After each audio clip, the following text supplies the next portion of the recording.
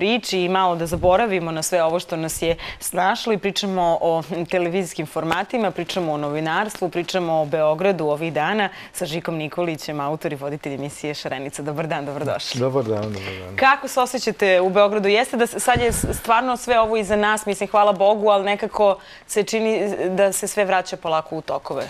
Pa jeste, mada ovih desetak, 15 dana baš bilo kritično i nekako čudno je to sve funkcionisalo. Ljudi su izmešteni iz normalnog života i ne možete tu na 15-20 km se sve to izdogađalo da ne saosećate s tim ljudima i da ne osjetite tu atmosferu te teške situacije. Da.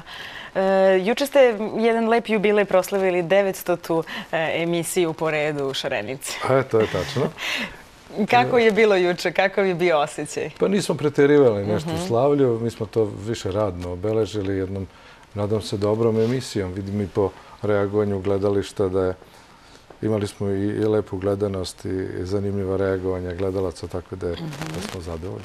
E, šta je po vama, postoji li neki uopšte recept, e, ako se to može reći, da se napravi jedna dobra emisija koja će imati svoj dug vek trajanja? Recept?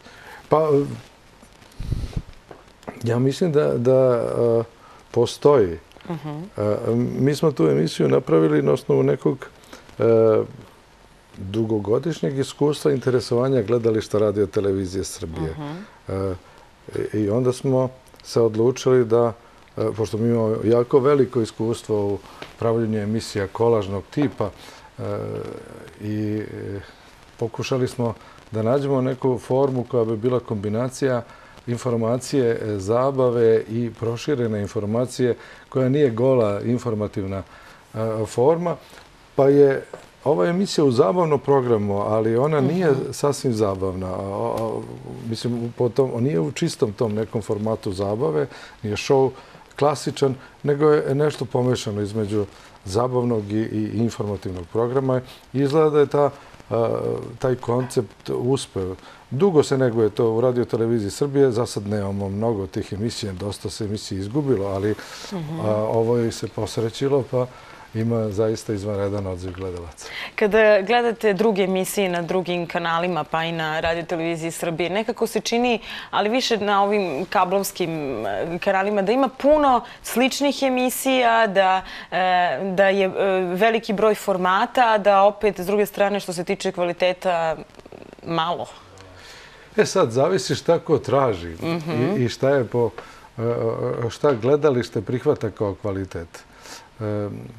Ono što e, ja uvek ističem, e, nekako e, radio televizija Srbije, televizija Beograd je prva na ovim prostorima, televizija koja se razvija od 1958. godine, pokupila sve ono dobro što su radile i rade televizije u svetu i nekako je obaveza i javnog servisa da drži i trči tu trku, ozbiljnu trku za kvalitetom i potrebama gledališta. Jer e, televizija uvek, pored toga što je e, na prvom mjestu ta informacija, da pruži pravu informaciju gledalcu i da ga malo zabavi, da ga mhm. rastereti, a i da mu omogući da nešto sazna. Mi smo se ovdje opredelili uglavnom za priču o Srbiji i nekim lepim i novim pričama o Srbiji, nepoznatim pričama. I evo, mi trajimo više od devet godina, stalno pričamo o Srbiji, putujemo po Srbiji tokom leta sa našim karavanom i Srbija je neispričana priča. Uvijek ima nešto novo, neobično i e, interesantno za novu reportažu. Ali kada gledate druge kanale i generalno kada gledate televizijske emisije, kakav je vaš e, utisak o programima koji se nude? Pa e, ja osjećam tu jedan i vidim jedan veliki trud. Mhm.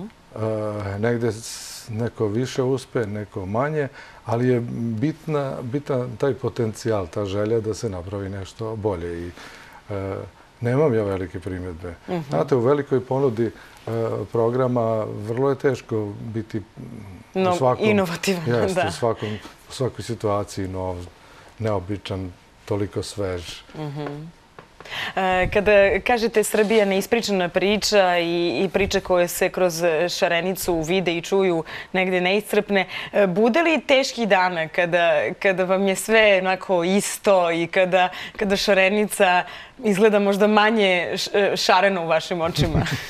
pa, jedno od iskustava i najteže iskustvo je bilo proteklih desetak dana, čak jednu emisiju nismo ni emitovali jer je zaista bila takva situacija da je bilo besmisleno pričati bilo šta drugo eh, ovaj, u tom programu osim o onome što se ljudima događa i objasniti kako da se snađu, kako da iz te situacije izađu. Eh, to je, kažem, jedno od najtežih iskustava. I naći neku meru tu eh, u skladu sa celom tom situacijom. I uvek je to kako ga kažem, najveća obaveza naći neku meru da, da to ljudima nekako legne da bi mogli da prihvate to što im nudite. Uh niste malo puta e, pričali svoju priču, zapravo mediji su vas o tome pitali, o vašoj hrabrosti kada ste krenuli na ovaj novinarski put, voditeljski, kada ste nekim urednicima govorili ja to hoću, ja to neću. Kako danas biste savjetovali neke mlade ljude koji kreću na, na put koji je sličan vašem? Kako da imaju tu hrabrost u sebi kada je danas tako teško naći, na primjer, posao u Srbiji? E, čovjek mora da zna e, šta hoće i e, da proba da nađe najlakši put. Ja nisam za to da uvek idete pravo, jer nijedan put nije prav. Neke prepreke treba zaobići i to je moj savjet i ljudima. Znači, važno je stići do cilja. Da li malo kasnije ili ranije, to je sad stvar opredeljenja, ali uvek treba izabrati neki način da se što jednostavnije do toga dođe. Ne treba razbijati glavu po nekim zidinama i glavom mhm. kroz zid, što kaže naš narod, ići to je najteže i najbolnije, a i ne daje uvek rezultate. Mhm. Je li lepo ponašanje i lepo obhođenje e, možda način do tog cilja da se dođe? Nekako se čini da su možda mlađe generacije same po sebi nestrpljivije. Pa, sad zavisiš tako hoće i kada mhm. hoće. Mhm. Ja sam na televiziju stigao u 36. godini života. Poprilično kasno. To je već, već su neki živeli karijere. Mhm. I e, mladi ljudi koji sa 18, 19, 20 godina dođu na televiziju, oni bi želeli što brže neki uspeh, podrazumeva taj uspeh, gledanost, obožavanje, status zvezde. A to uvek nije baš jednostavno i nikad se ne dogodi baš kako vi hoćete i nekad neki ne uspeju, bez obzira koliko su truda uradili da steknu taj status, makako on izgleda kod nas, mislim, taj, taj status zvezde. E, to nešto dođe samo po sebi. Ja mislim da je najvažnije uložiti E, srce, dušu i znanje. Ali prethodno morate imati znanje. Ne možete vi e, utrčati i sejati znanje ako niste prošli neke škole i e, stigli do tog znanja. E onda to treba gledalcu ponuditi. I što jednostavnije. Jer ovo staklo koje se zove ekran, ono toliko razotkriva i toliko moje iskustvo vi ste tu na toj čistini i gledalac odmah prepoznaje. Gledalac to apsolutno prepoznaje. Da li je iskreno ili ne? Da, da. I veliko je dostignuće taj sa daljinac. Kada vi iz fotelje možete da birate šta hoćete i sve više e, e, zahtevnih gledalaca e, koji neće tek tako da mu popunite vreme, nego hoće kvalitetno kad sedne za kraj televizora da kvalitetno iskoristi to vreme i sazna nešto ili se zabavi, zavisi s kojim ciljem je e, SEO i koju je emisiju odebrao. E, kada govorimo o Beogradu, s obzirom da je ovo emisija koja nosi naziv e, za Beograd, kako provodite vreme ove vanradne aktivnosti u Beogradu, svoje slobodno vreme, kako u Beogradu volite da provedete? Pa, kako, kad? Nekad u druženju sa prijateljima, nekad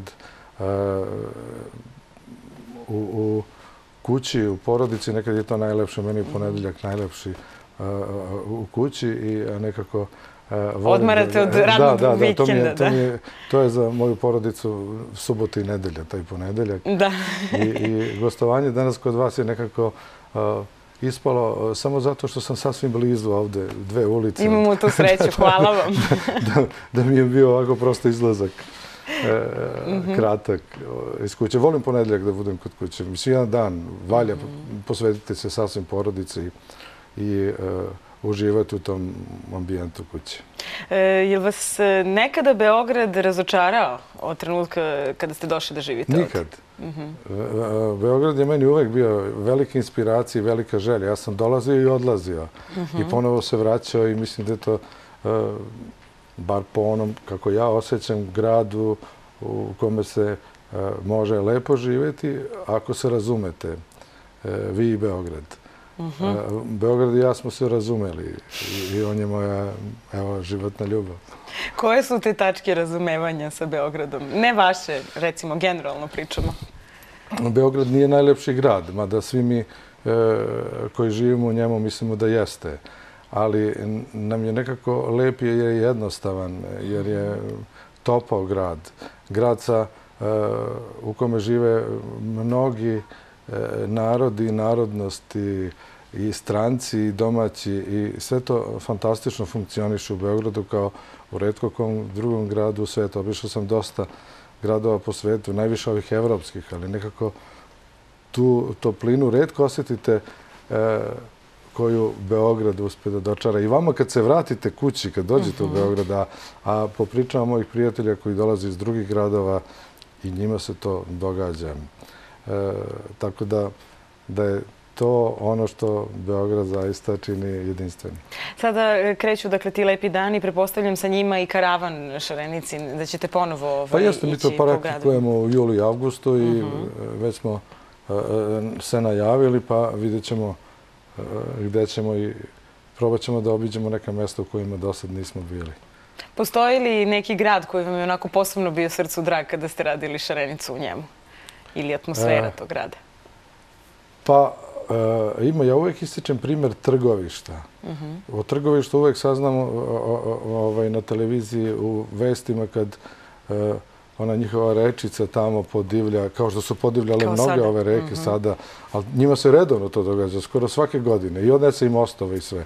I e, tada je trgovište bilo tema televizijskih i novinskih natpisa, ali kada smo došli tamo da uradimo emisiju, to je bilo nešto neverovatno. Ja mislim da se e, ceo taj gradić, e, cela opština, svi su se sjatili e, Eh, tu i mi smo na tom mostu mogli, pošto je to mali trg, most i ta rečica, ovaj, jedino na tom prostoru smo mogli da napravimo emisiju, a bojeći se da nećemo imati dovoljno sadržaja iz te sredine, mi smo poveli dosta i pevača i glumaca i tako dalje.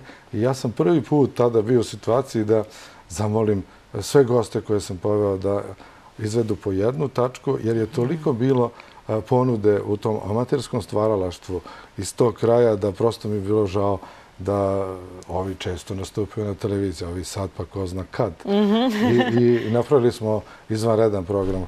Hoću da kažem da u tim malim sredinama zaista rastu i funkcionišu brojni ljudi posvećeni i kulturi i nekoj zanimaciji koju vredi pokazati. E, tako da su brojna bila kulturno-umetnička društva, kvalitetni umetnici, amateri, prosto da vam je žao da to ne pokažete da se vidi. Sa tog aspekta negdje nije loša ta decentralizacija, da se malo iz Beograda premesti i u neke druge gradove razne dešavanje. Hvala vam puno što ste izdvojili vreme za emisiju za Beograd i što smo e, pričali neke lepe beogradske priče, ali i televizijske. Hvala vam. E, mi ćemo sada da pogledamo koji su to formati naše televizije Sky Plus koje možete pratiti redovno.